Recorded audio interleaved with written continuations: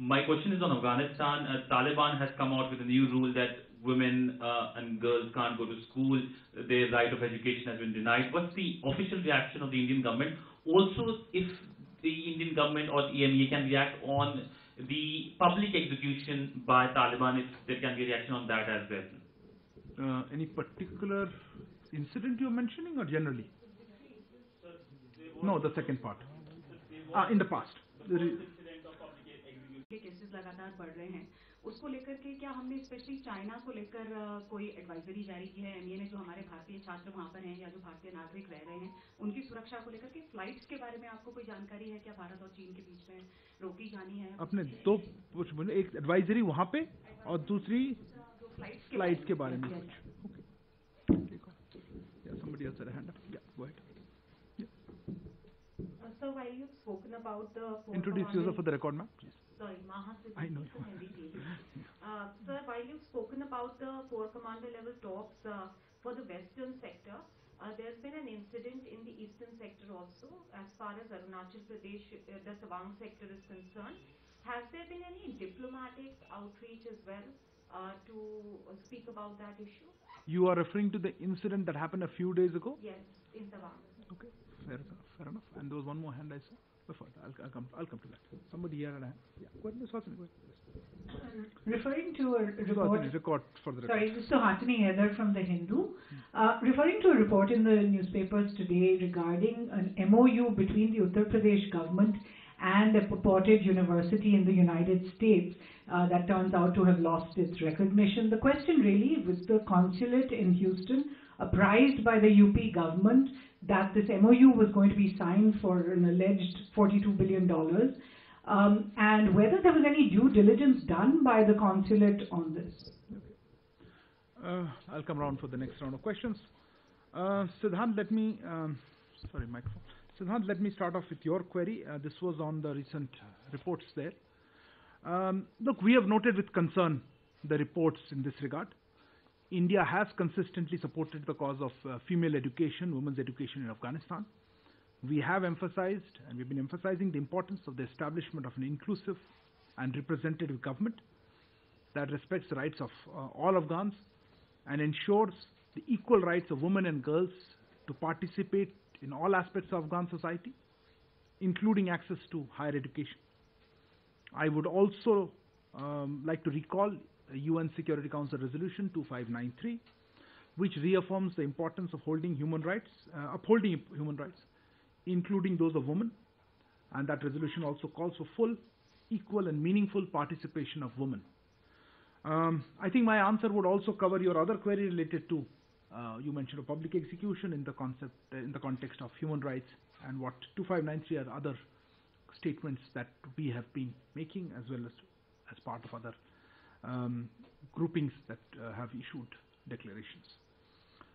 Uh, Yeshi, on the issue of um, eight Indians who have been in Qatar, uh, we have been responding on this um, off and on, uh, depending on what the queries are. I don't have a particular update this week. Um, we are, uh, we remain seized of the matter. I know our embassy, I spoke to them, is actively pursuing the case. Um, as I mentioned, uh, I think last time, the detained Indians are able to speak to their families um, on a regular basis, I understand. And some of the families who are staying in Doha are being allowed to have physical meetings too. We will continue to uh, extend all possible consular assistance. We are in touch with the families. Uh, we are also pushing for further consular access to those individuals. But beyond that, I don't have anything to add except to say that yes, this is a case that we are uh, following closely and pursuing. Um, Kavita ji, आपने ज़िक्र किया flights देखिए पहले flights के बारे में flights के बारे में ये आपको कोई स्पेसिफिक दूसरे डिपार्टमेंट या ऑर्गेनाइजेशन से पूछना पड़ेगा। इस पर चर्चा हो रही है। हेल्थ मिनिस्ट्री नॉर्मली या सिविल एविएशन ये इस पर लीड एजेंसीज हैं। हमारे तरफ़ अभी कोई इन्फॉर्मेशन नहीं है। जैसा आप जानते हैं डायरेक्ट फ्लाइट्स तो है नहीं। और इनडायरेक्ट फ्लाइट्स पे ऐसी कोई मेरे पास जानकारी नहीं है कि कोई, हमें कोई स्पेशल अनाउंसमेंट है। मैं सिर्फ़ ये कहना चाहूँगा कि चाइना की जो स्थिति है, वहाँ कोविड के वहाँ पे हम उस पर नज़र बनाए हुए हैं। हमने पहले भी कहा था कि हमारी उम्मीद ये है कि पूरी मानवता कोविड महामारी के पूर्ण रूप से उभर कर सक्षम रूप से ऊपर कर निकले। और हमने हमेशा हमारी तरफ़ से फार्मेसी ऑफ़ द वर्ल्ड के रूप में हमने मदद की है दूसरे देशों को। और चाइना में जो हो रहा है, मैंने जैसे कहा, हम करीब से नज़र बनाए रखे हुए हैं। और ट्रैवल रेगुलेशन में अगर कोई अपडेट हो अ, बताएँगे। और एडवाइजरी की भी हमारी तरफ़ से भी कोई एडवाइजरी जारी नहीं हुई है। हमारी अपेक्षा यही रही कि जो भी अ, कोई रहता है किसी देश में वहाँ के हेल्थ गाइडलाइंस जो भी हो उस उनको वो अ, पूरी तरह मानकर चले। जैसे हमारे देश में जो फॉरेनर्स है वो हमारे हेल्थ गाइडलाइंस फॉलो करते हैं। इसी तरह दूसरे देशों में जब लोग रहते हैं उनकी जो लोकल हेल्थ गाइडलाइंस है जो फॉरेनर्स वहाँ रहते हैं इंडियन वो उसको फॉलो करेंगे। बट कोई स्पेसिफिक गाइडलाइन हमारी तरफ़ से अभी इशू नहीं किया है। हमने Maha, uh, moving on to your core command. Look, uh, if you're talking about the the the incident at Tawang, um, I think uh, Raksha Mantri ji made a detailed statement in both House of Parliament, and with Parliament in session, it will not be appropriate to say anything beyond that. I don't have any further information to share. Um, so, Asini, you mentioned on an MOU. Look, we've seen reports on this. Uh, to be honest, uh, let me just give you a sense of this. Um, different states do make trips abroad to promote investment and other activities through their states. They do sign MOUs, and these are done directly by the states. Our embassies and consulates extend whatever necessary assistance is required. Uh, I don't have anything particular on this uh, MOU or this visit. Uh, yes, our consulate, of course, extended assistance to the delegation, but the MOUs for that, you will have to ask the state government. They would have a better fix on that. Uh, I'm not even sure the que- query regarding, you said due diligence. Um, I'm not sure, it- it's not our MOU, so I would, uh, I would refer you to the state government. For, I think they may already made some statements and I would refer you to that. Um, yeah, second round of questions. Uh, oh. Okay one second sorry Afghanistan पे आप अ, मैंने जो अभी Taliban issue पे हाँ अच्छा okay देखिए इसमें जो हमने रिपोर्ट देखी हैं उनको हम कंसर्न के साथ नोट करते हैं भारत ने अफ़गानिस्तान में महिला शिक्षा के मुद्दे को लगातार समर्थन किया है। हमने एक समावेशी और प्रतिनिधि सरकार का स्थापना को महत्व पर ज़ोर दिया है, जो सभी अफगानों को अधिकारों का सम्मान करती है और उच्च शिक्षा तक एक्सेस सहित अफगान समाज के सभी पहलुओं में भाग लेने के लिए महिलाओं और लड़कियों के समान अधिकारों का सुनिश्चित करती है, को सुनिश्चित करती है। इसी कॉन्टेक्स्ट में जो संयुक्त राष्ट्र सुरक्षा परिषद के प्रस्ताव ट्वेंटी फाइव नाइन्टी थ्री का भी याद करूँगा जो महिलाओं और मान, की मन- मानव अधिकारों के महत्व की पुष्टि करता है और महिलाओं की पूर्ण समान और सार्थक भागीदारी का भी आह्वान करता है। um, somebody had a that please. um, Sunjay? Sir, uh, thanks now. This is on the Tawang situation. You did say that RM has spoken, but it appears that the Chinese have been coming here earlier as well. They came on the 28th of September last year. So is there any understanding on why this particular area is being targeted? And can I ask a question as opposed uh, there have been reports of uh, the Saudi government saying that for examinations at least, and maybe other cases, they need the the students, female students, should wear the uniform and not the abaya or any other kind of covering. Could you give us some understanding about what the Indian government has to say about it, or what the facts are in this case? Um, what a question sorry I'll, I'll come I'm who had a question you had a, yes ma'am go ahead Hi, Dia from the print. Has the MA received a request from UPCM Yogi Adityanath for political clear- clearance to visit the US? sorry uh, to visit the US Yes. from UPCM Yes. uh, there was a Madhuri please. I'll come I'll come sir Madhurendra मैं News Nation से Iran ने strategic partnership के लिए भारत को offer दिया है। इस पर इंडिया का क्या रिएक्शन ईरान ने स्ट्रेटेजिक पार्टनरशिप के लिए भारत को ऑफ़र दिया है। ऐसी खबरें मीडिया में अच्छा। हैं। फ्रॉम हैं। कुछ। इस पर इस पर इंडिया क्या स्टैंड है। आपका क्या कहना है? Okay. Okay. uh, strategic partnership ka okay. uh, sorry uh,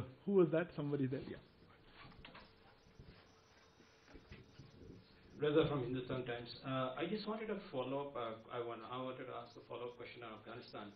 Uh, there is mounting evidence that uh, LET and JEM uh, cadres are now in Afghanistan. This is something that we have raised at the UNSC. Uh, does India have any plans to work with its international partners on this issue? Number two, uh, there is also Which issue, sorry? Could you on the issue of LET JEM cadres being in Afghanistan. Number two, there are a lot of concerns about how you know uh, there could possibly be the misuse of any funds that are now provided to the Taliban uh, for humanitarian work or any other reasons from the frozen assets. Uh, is India concerned about In what this? context is this concern? I didn't I mean, understand. Who you know, the the? Taliban are requesting for the funds to be given to them, but you know the funding, the channels are not open. The, the you know the official channels are not open. Do we have concerns about you know the misuse of possible misuse of any of these funds? Okay. Somebody else? Go ahead. I'll come back to you. Microphone. If you could keep mobiles on silent. So just a little query about the uh, talks with You to introduce yourself for record, otherwise poor transcript So this is Manas Pratim Bhuyan from PTI. It's a little query about the China-India talks, uh, seventh round of talks. As the talks took place uh, just 11 uh, days after the Tawang incident, was the issue actually flagged by Indian team during the talks, the Tawang incident? in the talks. Yeah. Okay. Okay, let me try to answer this round of question. I'll come back to I think a few more hands. Um, look, I understand there are a couple of questions on Tawang too, maybe three questions. As I said, I think I think Raksha Mantriji made a detailed statement. I don't have anything further to add. If you're looking at the why the military, uh, specifically Shinja, you asked why here, has it happened in the past? Yes, there have been incidents, locations where in the past where uh, we have, uh, you know, stood firm, as you you're aware of that, and we've been emphasizing that uh, our, you know, soldiers will uh, stand firm to guard our frontiers. So I don't want to say anything beyond that because I think clarity has been issued. And if you want, from looking at from a military perspective, I would refer you to the MOD. I, I'm not going to speculate here on why, which specific locations. As regards the Saudi government, I don't know how that's a foreign policy issue, so I'm not going to be able to comment on that. I haven't, our embassy has not received any formal communication in this regard from the Saudi authorities. You've seen some media reports, but I don't want to get into that. Um, uh, Manas, in the similar perspective, look, this is all uh, that we have to say. Uh, sorry, where did Manas go? Uh, sorry. Um, this is um, this is all that we have to say for the moment. Uh, the talks happened on the 20th. Um, we can all speculate, but I, since I don't have a confirmation, I am not going to be able to confirm that. Um, we did talk about that was more, to be honest, about the western sector. So, if it has not been, I wouldn't be surprised. But let me not make a comment either way. I'm not I'm not aware of the details. Uh, Pia, I wouldn't have an offhand comment. I don't keep a track of all political clearance requests that come. Uh, I'll have to check. Um, I also am not sure whether I am in a position to be able to tell you, as a matter of policy, whether who all are applied at which point. So I may not be able to come back with anything to share. Um, if there is something specific that you're looking for, I can try to find out. But otherwise, I don't have any information on that.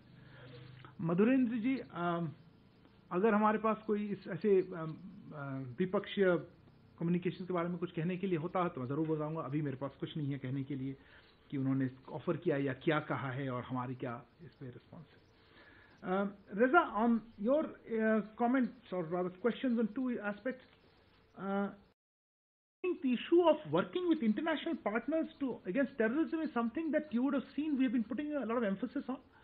Um, let me uh, draw attention to we organized a counterterrorism committee meeting uh, here in Delhi, um, preceded by a meeting, informal briefing in, in you know um, Mumbai. Uh, we had uh, discussions here under the No Money for Terror. We had highlighted as one of the signature events in our presidency at the UN on terrorism. So clearly, we are interested in working with the international community against terrorism from wherever it emanates. So I think that goes without saying. Um, in insofar specifically as Afghanistan is concerned, you would have, I would refer to uh, Resolution 2593, which has a pretty strong uh, language on what the expectations of the international community is vis-à-vis terrorism emanating from Afghanistan. As regards funds to Taliban, I don't know specific response to that because I'm not sure what concerns you are referring to. But um, if you've been following the developments in the United Nations Security Council, a few days ago there was a resolution regarding um, access to funds uh, for humanitarian purposes, and while in, in you know in principle, that's uh, something that we work with and we support. There were certain concerns that we had, and accordingly we abstained on that resolution. Uh, clearly, we, we do believe that uh, there are possibilities of misuse of such opportunities, and hence our position on that resolution. So let me let me limit myself to that. Okay, who had a few set more set of questions? Uh, once again, please start. Uh, hi sir, uh, from uh, CNN News 18. Uh, my question is regarding uh, recent uh, civil unrest happening in Pacific Island. Fiji, uh, Fiji, there have been reports of Indian people of Indian descendants being targeted. How are you looking at the situation? Has there been any advisory for Indians living in Fiji or anything? Indians living in Fiji, right? Uh, and also the people of Indian origin who are. We're not going to give them advice. Of course, you're not. Just, just clarifying that issue before you start. okay. So, Sridhar, I, yeah, Sridhar, go ahead. Sridhar from the Asian Age. Uh, so there are uh, about 200 meetings uh, as announced uh, scheduled for the G20 in the run-up to the summit. Now, given this current COVID scare, um, is there a move to make it uh, virtu- in virtual mode, or will it affect the physical attendance at these meetings? And secondly, are you uh, staying with the same subject? Are, are you also gearing up for uh, sort of an evacuation operation like we saw in 2020? Uh, because uh, the you have uh, China, Japan, South Korea, US, all these countries. where Sorry, sorry. I'm not going to accept loose questions. What evacuation operation from where? Uh, of uh, Indian, are you gearing up? Ah, I'm saying, from there those countries. Correct. Thank you. Yeah, I sorry, I missed you last time. I'll come. Uh, Good afternoon, sir. This is Shashank Mattoo from the Mint. So the CAG released its report, uh, audit report of the Ministry of External Affairs two days ago. It alleged uh, that there were, it pointed out that there were irregularities uh, that caused uh, the exchequer a loss of around 58 crores because of the misapplying of OCI fees. The Ministry of External Affairs said it was a notional loss. The CAG did not accept that submission. Could you give us a considered sense of what the Ministry's position is on this mischarging of fees? Okay. Uh, yeah, Nayanima, and then I'll go to the last one. Uh, Nayanima from ABP Live. Uh, just wanted to understand, it's been six months since we opened the embassy, uh, our mission in Kabul. What exactly has been done so far? Have we resumed some of the stalled projects? In terms of humanitarian aid, what is it that is going on? If you can give us some update. Thanks a lot.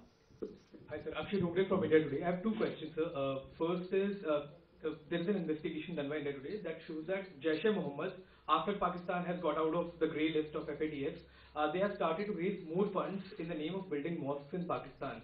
So is MEA keeping an eye on that? Uh, second is about Charles Sobhraj, since he has been freed. Um, just Uh, we normally have one question, but I'm noticing a lot more of these Yes. twos coming in. But uh, uh, Charles Sobhraj, now that he has been freed, uh, uh, are we seeking uh, a a custody of Charles Sobhraj, given the fact that he has fled from Indian jails as well?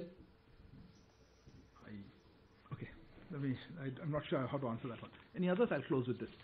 Okay. Um, look, uh, Abhishek, I wasn't clear of your question. I, of course, um, develop. As you know, Fiji has just, um, you know, I think concluded or going through its process of election, and we look forward to the, you know, formation of government and working with the new government there.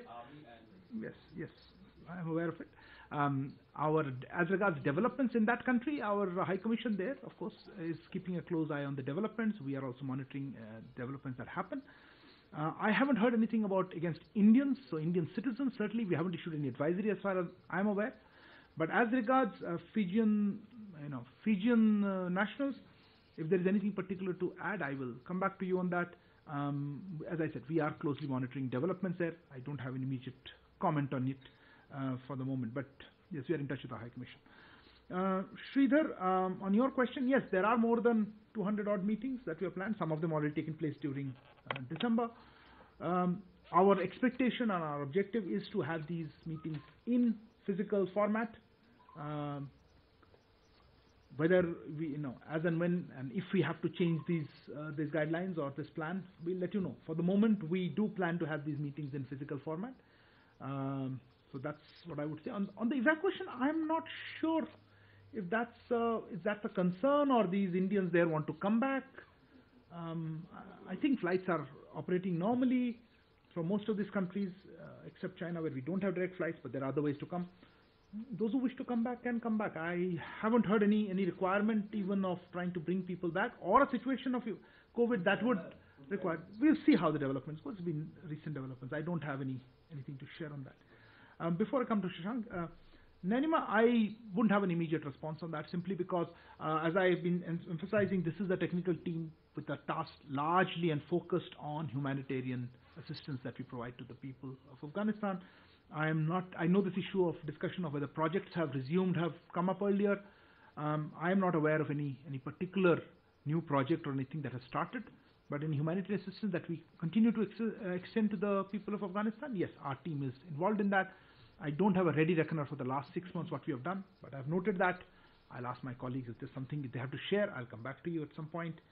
Um, sorry, anything particular on this? Microphone. So Hasni, and again, the Taliban statement on the mission in Kabul actually uh, names the head of the Indian mission, Mr. Bharat Kumar, and, and calls him the charge d'affaires. Is that technically wrong? As I said, I am not going to comment on uh, other people commenting how they how they uh, designate our people. It's a technical team, and he's the head of technical team. So from our perspective, uh, coming back to uh, sorry, um, Akshay Dongre, uh, you had asked regarding. Look, I I don't have specific information on on such operational issues. Um, we have, of course, been emphasizing the importance of ensuring that um, you know Pakistan's cross-border terrorism uh, is stopped, that it does not, and you will see in our recent statement in that regard. Um, if organizations that you named are trying to uh, do that, and I don't think it's a new development, yes, I would expect uh, that the international community will continue with its efforts to stop such things. We certainly uh, monitor uh, or, and take steps to ensure that terrorism, we are protected from that. Uh, on the Charles Sobhraj, I don't think it's a foreign policy issue. I, if there is some legal proceedings against him underway, then our uh, legal, our other agencies, particularly Home Affairs, I guess would would know. I'm not aware, and nor do I wish to make a comment on it. Uh, Shashank, um, uh, you referred to the CAG report. This is a routine, as you know, um, we, like most other government departments, are subject to audit, um, including from the CAG, but we have other levels of audit. And on a regular basis, audit is carried out at various stages, at various levels of both our missions abroad as well as our Ministry of External Affairs. As part of these, there are audit obj- uh, observations, um, and which some of them become uh, come as audit paras and subsequently audit paragraphs of the CAG. And these are tabled in Parliament uh, when the CAG feels that it requires it to do so. That's its mandate under the Constitution. Uh, this is now uh, a property of the Parliament, and I certainly would like to explain further and let this be as part of the parliamentary process. Our comments on it are as part of when the CAG presents its report, it also puts on record what the ministry said. I don't have anything additional to say to that. And there is a process in which these are handled, uh, and we will certainly, um, you know, take forward what the guidance from the parliament is. Thank you very much. Uh, you have more questions now. I thought we had the last one. No, you're the second one. I'll take his. Uh, sir, Shalendra Yeah. Uh, एक तरफ़ तो लगातार हम देख रहे हैं core commander level की talks होती रहती हैं। हम्म। आपने मतवा भी बताया सत्रह हम्म। सत्रहवें दौर की भी लास्ट मीटिंग हुई थी। Uh, लेकिन एक और मैकेनिज्म था जो 2003 में शुरू किया गया था एसआर लेवल टॉक्स का। हम्म, आखिरी मीटिंग 2019 में हुई है। क्या ये डिफंक्ट हो चुका है? क्योंकि मेन क्वेश्चन जो बॉर्डर का है वो इस लेवल पर एड्रेस होने वाला है। तो वो टॉक्स क्यों नहीं हो रही? क्या उसके लिए दोनों एनएसएस टच में है? दोनों जो एसआर लेवल के जो रिप्रेजेंटेटिव टच में है या नहीं है? अगली मीटिंग कब होगी? इस बारे में कुछ मैं चार क्वेश्चन पूछ लिया बट एनीवे मैं आपको who has sir a question you are Abhishek before या please go ahead Uh, Manish Chand, uh, on the China COVID issue, have we uh, uh, taken it up with China? Has has there been any discussion? Has China given any official update on this at all? Uh, Number two, on the... No, no, I'm, uh, this is not a multiple round question. No, no, question. just one more. Just a brief question.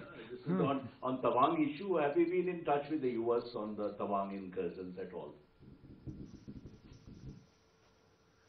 China COVID, you asked, no? No, no, hold on.